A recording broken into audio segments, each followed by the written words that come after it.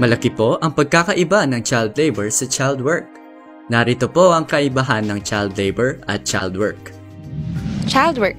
Trabaho na naaayon sa edad at kakayanan ng bata. Child labor.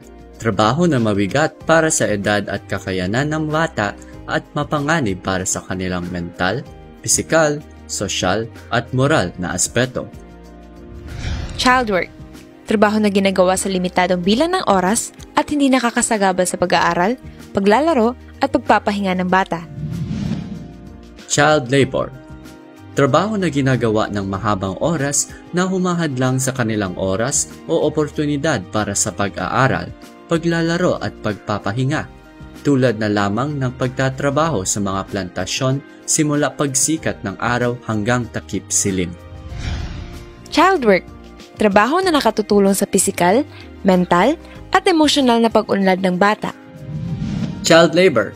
Trabaho na nagdudulot ng kapagalan at pangangabuso sa kalagayang pisikal, mental, at emosyonal ng bata gaya ng pagtatrabaho sa pag-aawaan ng paputok at mga kemikal.